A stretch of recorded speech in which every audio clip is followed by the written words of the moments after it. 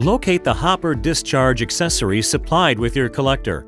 This can be a drum kit with slide gate, rotary airlock, or screw conveyor.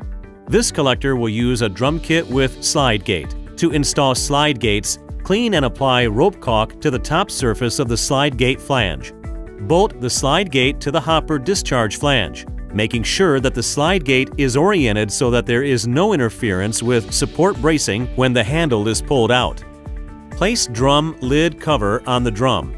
Slide the drum latching ring over the drum lid and top of the drum. Be sure that the latching ring is on the right side up. The clamp will not latch if installed upside down. Slip one end of the flex hose over the collar on the drum lid and fasten with a hose clamp. Move the barrel assembly under the hopper and slide the other end of the flex hose onto the collar on the slide gate. Fasten with a hose clamp.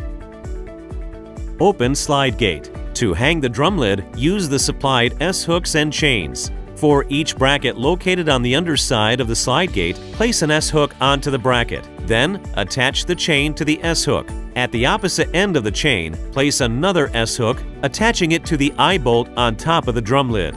Do this for each bracket. Because each installation is unique to the customer, you'll need to consult your equipment manual for special instructions to complete the installation for the rotary airlock or screw conveyor.